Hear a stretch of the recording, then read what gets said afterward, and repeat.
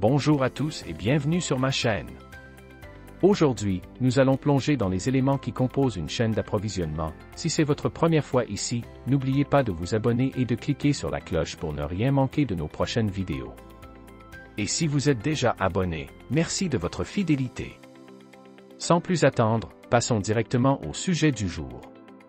Éléments qui composent une chaîne d'approvisionnement. Introduction à l'unité. Objectif de l'unité. À la fin de cette unité, vous serez capable de identifier les éléments qui composent une chaîne d'approvisionnement, expliquer les systèmes de transport appliqués au tourisme, analyser les dépenses liées au système de transport. Bonjour, étudiants. Avez-vous remarqué à quel point le marché des services touristiques a augmenté ces dernières années? Ce qui, jusqu'à récemment, était un privilège réservé aux classes ayant un plus grand pouvoir d'achat, est désormais devenu une activité très courante pour les consommateurs ayant un pouvoir d'achat plus faible, en raison du coût moindre de ce type de service dû à l'augmentation de l'offre et, également, de la flexibilité des moyens de paiement. Cependant, il est nécessaire de considérer qu'une organisation dédiée à fournir ce type de service doit prêter attention à une série de facteurs qui peuvent déterminer son succès ou son échec sur son marché de consommation, tels que les considérations sur les éléments qui composent sa chaîne d'approvisionnement, le niveau d'excellence de ses fournisseurs, ainsi que l'identification claire des opérations qui ajoutent effectivement ou non de la valeur à ses clients. Ainsi, dans cette unité, vous connaîtrez et comprendrez les aspects et l'importance de la gestion des éléments de la chaîne d'approvisionnement, les modalités et la composition des dépenses liées au système de transport de passagers, ainsi que le concept d'intermodalité et de multimodalité. De cette façon, vous pourrez comprendre quels sont les éléments à gérer dans une chaîne d'approvisionnement et l'importance de gérer les fournisseurs qui la composent, ainsi que connaître les modes utilisés dans le système de transport appliqué au tourisme et pouvoir également pour mesurer les dépenses engagées à la suite de ces activités.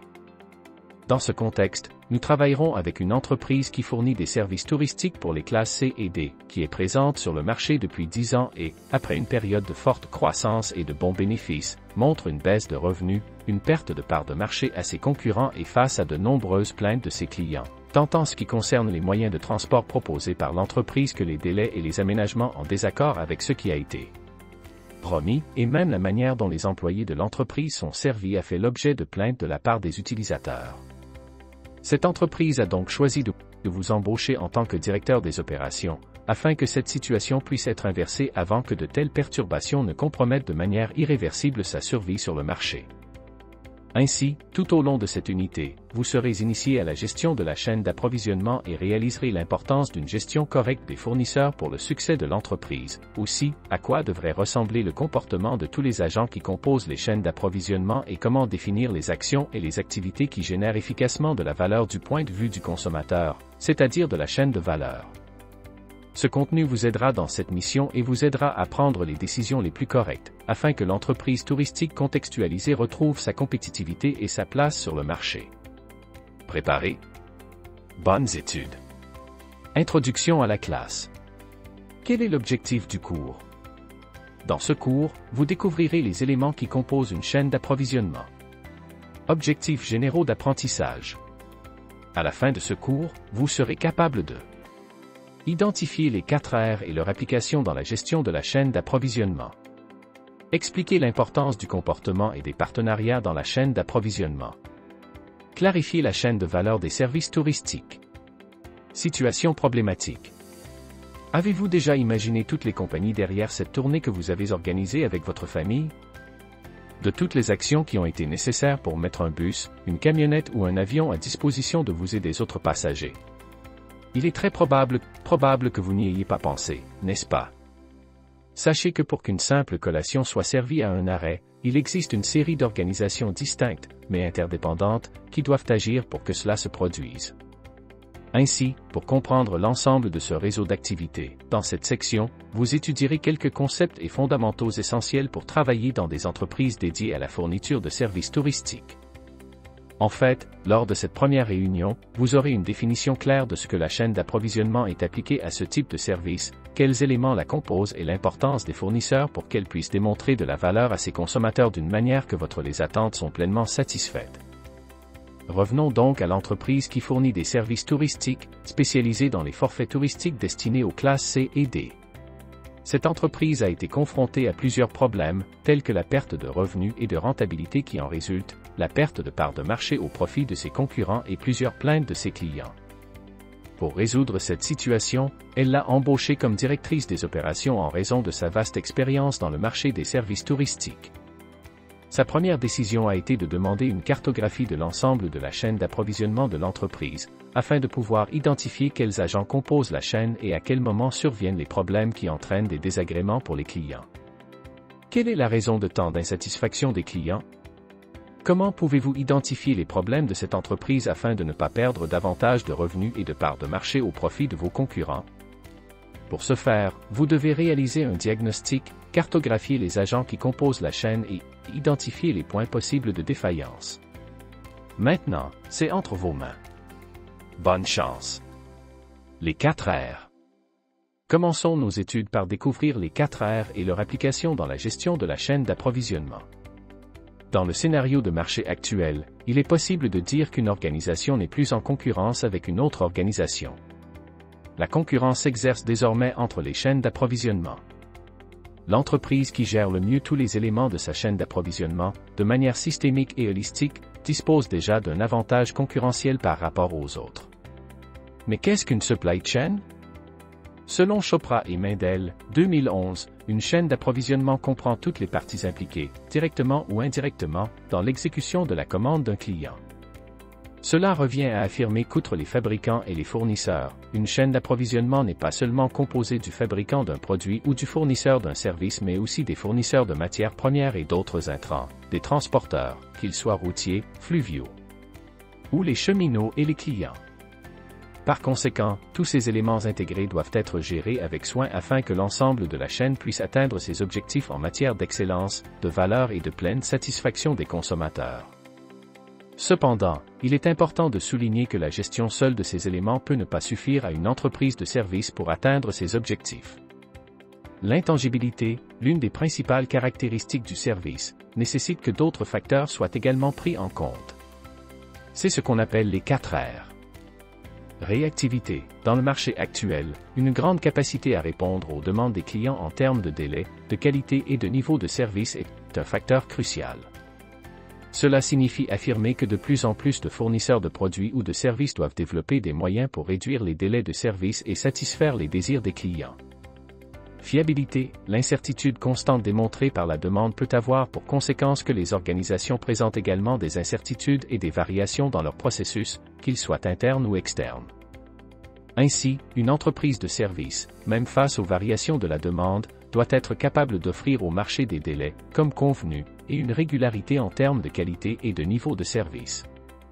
Autrement dit, une entreprise sera considérée comme fiable par le marché en raison de la faible variabilité de ses processus et de ses activités. Résilience. Dans le contexte actuel, les turbulences et la volatilité sont des facteurs constants provoqués dans la plupart des cas par l'instabilité politique, économique ou juridique. De cette manière, la chaîne d'approvisionnement est également vulnérable et, dans de nombreux cas, fragilisée par ces perturbations, qui peuvent même entraîner un risque de discontinuité, faillite, de l'entreprise. En ce sens, l'idéal est de disposer de chaînes d'approvisionnement résilientes, c'est-à-dire dont les éléments qui les composent ont un plus grand potentiel pour faire face à des variations inattendues et une plus grande agilité pour trouver des solutions viables pour résoudre ces problèmes. Relations, à l'heure actuelle, la tendance est pour les entreprises, de toute activité ou taille, de rechercher des relations de partenariat, non seulement avec leurs fournisseurs, mais aussi avec leurs consommateurs. Christopher, 2013, décrit que la gestion de la chaîne d'approvisionnement, par définition, est associée à une gestion efficace des relations, à travers des réseaux complexes d'entreprises qui, bien que légalement considérées comme autonomes et indépendantes, sont en fait interdépendantes. Par conséquent, la gestion efficace de ces quatre éléments réactivité, confiance, résilience et relations est essentielle au succès d'une chaîne d'approvisionnement. Gestion des fournisseurs de produits et services logistiques. La gestion de la chaîne d'approvisionnement doit-elle être réservée aux grandes entreprises? La chaîne d'approvisionnement est fondamentale pour qu'une entreprise, quelle que soit sa taille, petite, moyenne ou grande, et son activité principale, industrie, commerce ou prestation de services, réussisse sur le marché dans lequel elle opère et que sa mortalité n'est pas définie. Prématurément en raison d'une mauvaise gestion de sa chaîne. Mais qu'est-ce que la chaîne d'approvisionnement? Selon Peer, 2016, la chaîne d'approvisionnement est décrite comme l'ensemble des processus qui impliquent les fournisseurs clients et unissent les organisations depuis la source initiale des intrants jusqu'au point de consommation du produit ou du service, voire une chaîne d'entreprises autonomes ou semi-autonomes. Entreprises, qui sont en fait responsables de l'acquisition, de la production et de la commercialisation d'un produit et ou d'un service spécifique auprès du client final.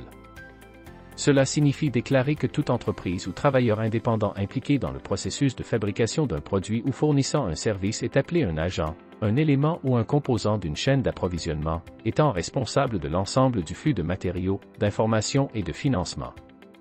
Un produit et ou un service spécifique.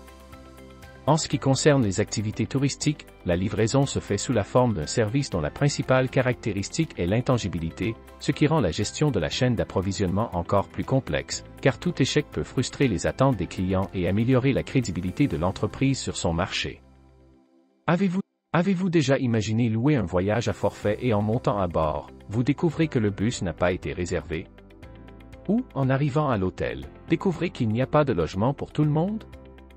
Par conséquent, afin que nous puissions mieux comprendre les concepts et les actions liées à une chaîne d'approvisionnement, il est important de considérer que l'ensemble de la chaîne est formé par une entreprise, appelée focus ou focale, qui, dans la plupart des cas, est l'élément qui ajoute le plus valeur au produit ou au service, par exemple, les entreprises qui sont à l'origine du produit final. Il est donc essentiel de considérer que la supply chain, pour répondre pleinement aux besoins, désirs et attentes des clients finaux, doit fonctionner en fonction de deux agents. Agents en amont, ce sont les éléments de la chaîne d'approvisionnement chargés de fournir à l'entreprise focale tous les intrants et flux d'informations nécessaires pour répondre aux opérations de l'entreprise focale. Il s'agit des fournisseurs et des entreprises impliquées dans le processus visant à garantir que ces matériaux parviennent à l'entreprise cible en quantité appropriée, au moment où ils sont requis et conformément aux normes de qualité préalablement convenues, telles que les hôtels, les entreprises de transport aérien, routier ou ferroviaire, fournisseurs de repas, etc., Bower Sox et Al.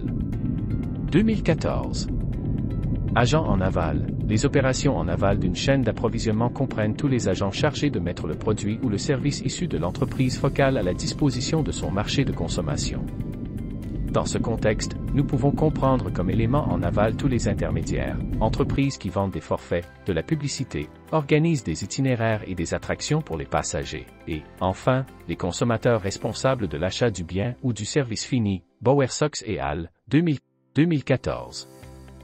Et c'est précisément dans ce contexte que la gestion des fournisseurs s'avère être une action fondamentale en termes de fourniture d'un service de qualité et d'un haut niveau de service au client final. Mais que sont les fournisseurs?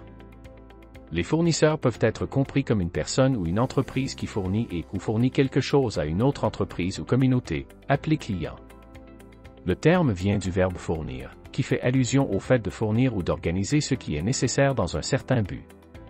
De cette façon, seulement à travers leur définition, il est possible de comprendre l'importance de les gérer pour que l'organisation atteigne ses objectifs, tant internes qu'externes. Vous devez savoir qui ils sont, où ils se trouvent et lesquels sont les mieux adaptés aux activités de l'entreprise.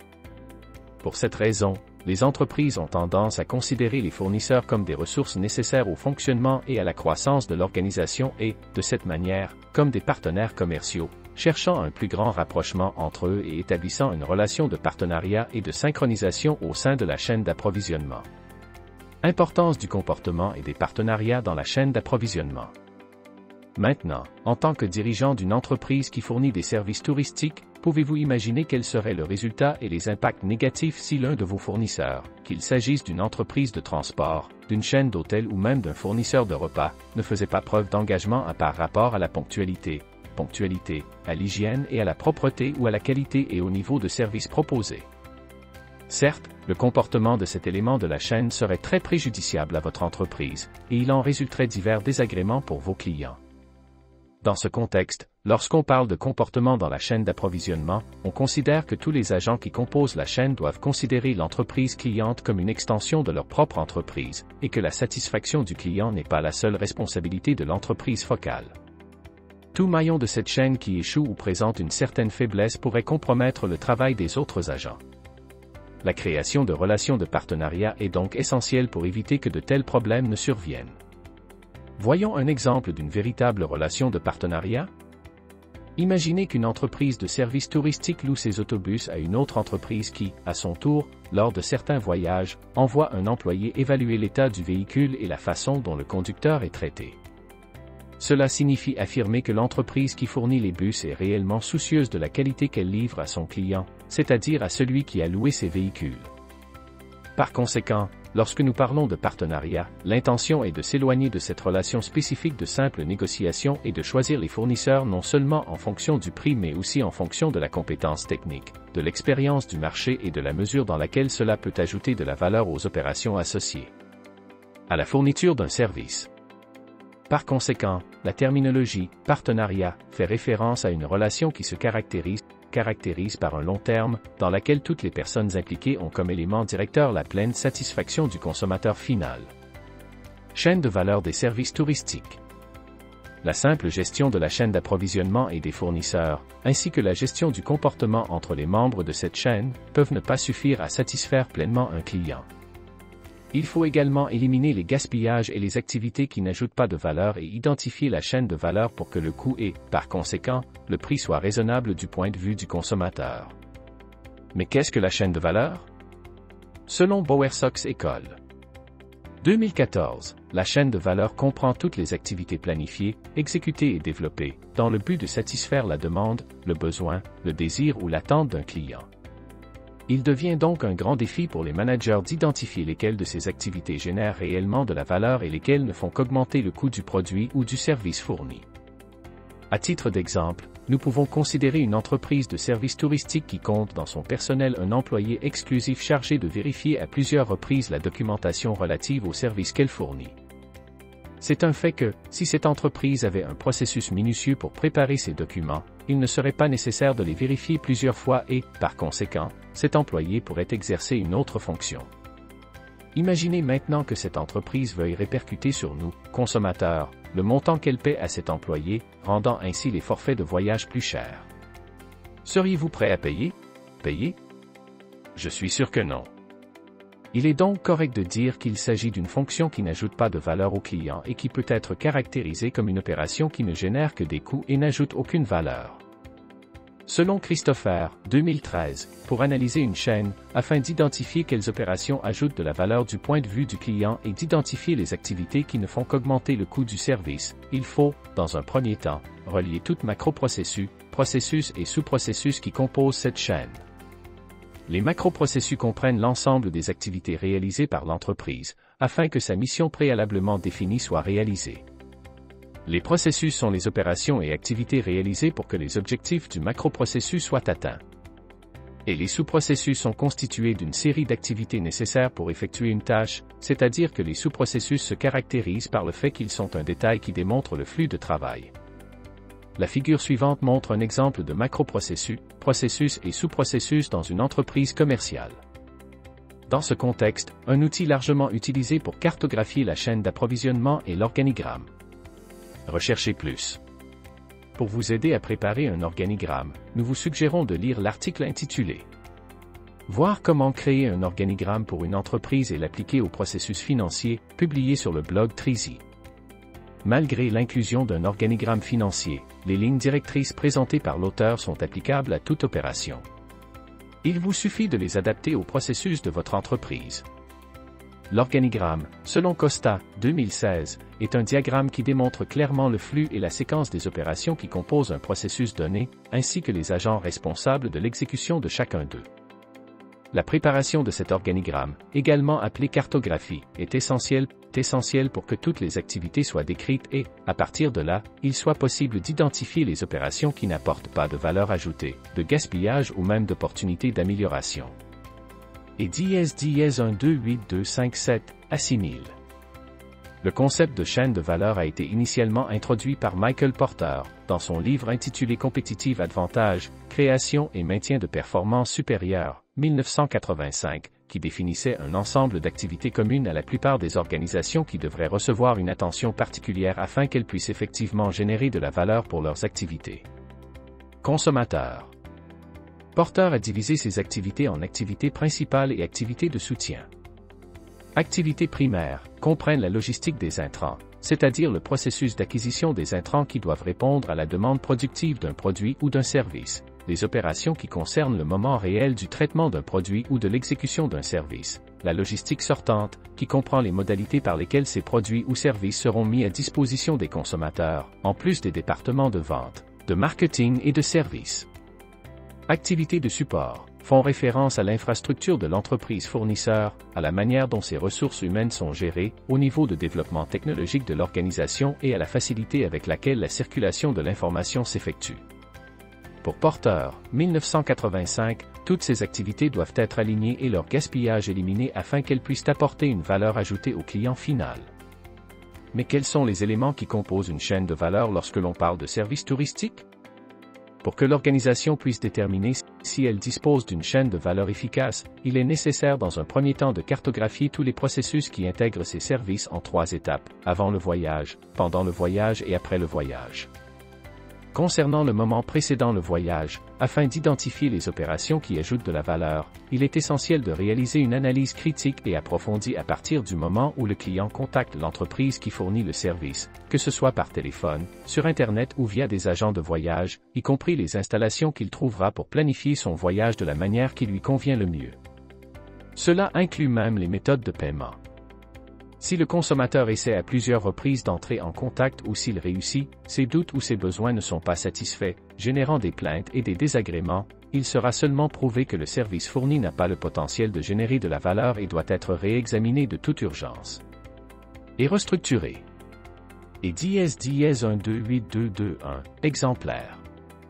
Pour illustrer ce moment, nous pouvons prendre un exemple très simple. Vous avez oublié des affaires à l'intérieur d'un bus ou d'un avion et vous passez plusieurs jours à tenter de les retrouver. Il est évident que cela vous apportera un sentiment d'inconfort total et contribuera substantiellement au fait qu'à cause de cet événement, vous ne pourrez pas voir de valeur même dans les autres expériences de ce voyage.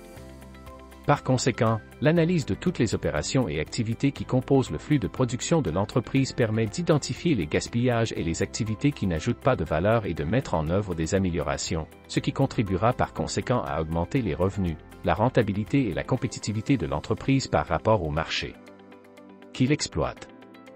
Et dièse, et dièse dièse 128173, réfléchissez. Comment les 4 R peuvent-ils être appliqués à la gestion de la chaîne d'approvisionnement dans les entreprises touristiques? De cette manière, la chaîne d'approvisionnement et, par conséquent, ses fournisseurs, sont considérés comme des éléments essentiels pour que l'organisation puisse fournir un haut niveau de service et des attributs qui contribuent à ce que les consommateurs finaux puissent vérifier que leurs désirs, besoins et attentes ont été pleinement satisfaits. Rencontrer. Conclusion. Vous souvenez-vous de notre entreprise fournissant des services touristiques qui a connu une baisse de revenus et une perte de part de marché au profit de ses concurrents? Dans un premier temps, sa mission était de cartographier la chaîne d'approvisionnement de cette entreprise, afin qu'elle puisse identifier les éléments qui la composent et, ainsi, pouvoir les analyser en détail, identifier d'éventuels points de défaillance pouvant entraîner des plaintes et désagréments pour les clients. Ci-dessous, nous présentons une suggestion sur la façon dont cette chaîne peut être cartographiée à travers un organigramme qui prend en compte les moments avant le voyage, pendant le voyage et après le voyage. Il est possible que, selon l'entreprise et sa taille, cette chaîne et ses éléments soient encore plus grands. Cependant, sur la base de la suggestion présentée, il faut considérer que chacun de ces agents mentionnés peut entraîner un problème pour l'entreprise et qu'il doit être résolu immédiatement, afin que cela n'entraîne pas de frustration pour le consommateur final c'est l'objectif principal de la cartographie d'une chaîne. Il est nécessaire de connaître tous les éléments qui le composent, afin d'identifier l'origine d'un éventuel problème. Et voilà, c'est tout pour aujourd'hui. J'espère que cette vidéo sur les éléments qui composent une chaîne d'approvisionnement vous a plu et que vous avez appris quelque chose de nouveau. N'hésitez pas à laisser un commentaire ci-dessous pour partager vos pensées et poser vos questions, j'adore lire vos retours. Si ce n'est pas déjà fait, pensez à liker la vidéo et à vous abonner pour ne pas rater les prochains contenus.